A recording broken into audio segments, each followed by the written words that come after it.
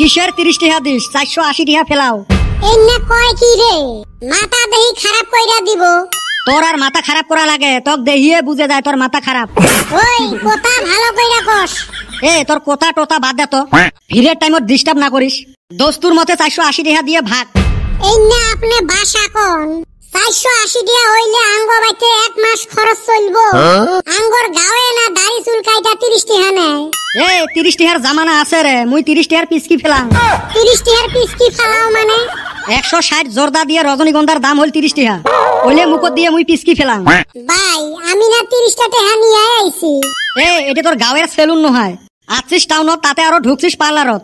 চুল কাটলু কাটলু আরও তোর মুখ চিকচিকে করে দেওয়া লাগে। মুই আরও দামি ফেস ওয়াশ দিয়ে তোর মুখ চিকচিকে করে দিলুম। আমরা গাঁয়ের সেলুনে না তিরিশ টাকা দিয়ে চুল কাটি? ওইনো না ঘইসা মুখ সিকসিকা কইরা দেয়। ওতে দেয় মুঠে সাবন দিয়ে ঘষি। ও আরে অনে আবার মুখটা জ্বালায়। এ তোর বাজে কথা বাদ দে তো ব্যবসার টাইমত ডিস্টার্ব না করিস।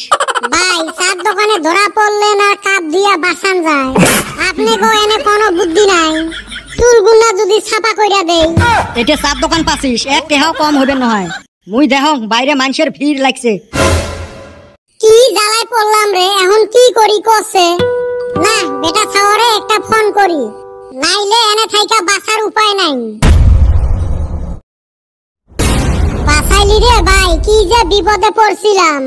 চান্দিয়ের বেটাকে কল করছিলাম। যেই পয়সার কথা কইছি ওর মোবাইল থাইকা বলে নেটওয়ার্ক চইলা গেছে কিছুই শুনে না। বিপদত তো বেটা ছাওয়ায় সহায় করে কিন্তু যত দশ বেটা ছাওয়ারে না রে ভাই তুই কি ভালো? পুজে খাইবার জন্য পাঁচশো টাকা রাখছিলুম তোরে পাঁচত গেল। যাই হোক কালকে দিস মক এক হাজার টাকা এইটা আবার কি হইল?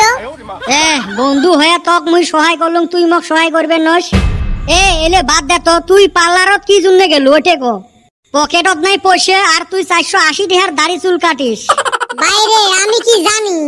ভাবলাম পূজার বাজার অল্প সাফ চিকন হইয়া নই সাফ চিকন হব আমার গাঁৱত নাই সেলুন। গাঁয়ের সেলুনে দুই দিন থাইকা ঘুরতাছি। পূজার বাজার আইরে কি ভিড় ওই দিন সকালে এক সেলুনে গেছি। যায়া দেহি হেই রুম লম্বা লাইন। সকাল দশটার শুন যায়া সিরিয়ালের নাম লাগাইলাম। বিকাল পাঁচটার সুমে আমার সিরিয়াল আসলো। চুল কাটবার খালি চেয়ারে বস মুরে বাই হেফরা চাচা যায়া হাজির। কয় বাইশটা আমি বয়সিয়াল মানুষ খালি দাড়ি টুকা কাটমু। আমাকে বসবার দে। ভাবলাম এখন বয়সিয়াল মানুষ কইছে দেই বসবার। এই ঢেবরা চাচা যে এত খাচ্চর আমি তো জানি না। কে কি করছে? দাড়ি কাটা কথা কইয়া দাড়ি চুল মাথা মালিশ বেটি করল? গেল এক দেড় ঘণ্টা। তারপরে কাটলু হয়। বাইরে আবার খালি বসমু। আবার আসলো আমার এলপি স্কুলের মাস্টার। উনিও আইসা সেম কথা। এখন স্যার হয় কিবা করে না করি? স্যার তো স্যার হাতে আবার স্যারের পোলাকও নিয়ে আইছে। এবার করতে করতে রাইতের দশটা বাইজা গেছে। তারপর পাইলাম সিরিয়াল নাপিত আবার কাটবো না। ওর বলে বন্ধ করার টাইম হইছে। গেল গা দিনটা আমার সেলুনের দোকানে বইসা। ওই জন্য আমরা আগতে কাটছি।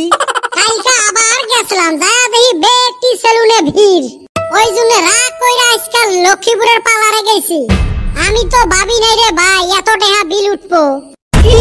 ওক বলে চিকচিকে হওয়া লাগে খাই এলা দেহে ওর মুখ। কে দুর্গা পূজায় ঘুরমু না। এ বল্টু চান্দির বেটাক দুই দিন থাই কেনা দেহং না। দেখবি কিবা কইরা। ওরা তো পূজার প্রস্তুতি নিতাছে। কিসের ফির প্রস্তুতি? বল্টু বর্তমান জিম করতাছে বডি বানাবো বলে। পূজায় যাতে কাপড় পিন্দিলে ফিটিং হয়। এমার যে ঢং আমার গাঁৱত না জিমে নাই। বাড়িতে থালি বাসন যা পায় ওইটাই ডাঙাডাঙি করে। আচ্ছা এটা নাগে বুঝলুম চান্দির বেটার কি হয়েছে? রইদে বাড়াইলে বলে কালা হইব। হেই নিগা অতি বাইতে থাইকা বাড়ায় না। সারাদিন বাইতে মুখে হলদি মরিচ কিবা কিবি মাহে। এহ জোনার যে ঢং মনটা কয় দুই একটা কথা কম কইলেও এলা হইবে রং ওই জন্য মুই না কম